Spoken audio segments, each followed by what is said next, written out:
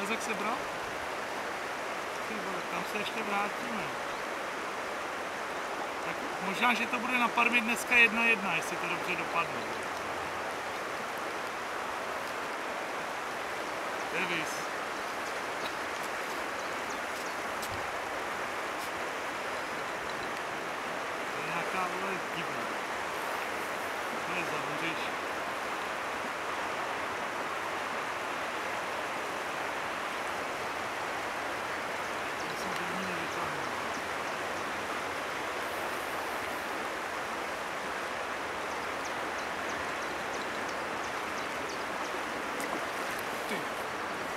Ty. A ty. vole.